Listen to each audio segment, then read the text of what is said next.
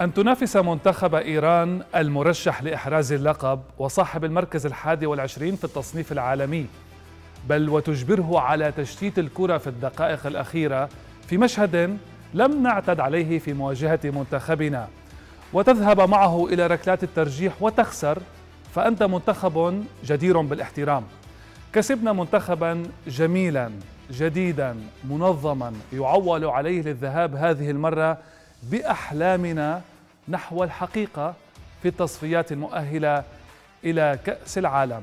شكرا سوريا. game on آسيا أطلقت الصافرة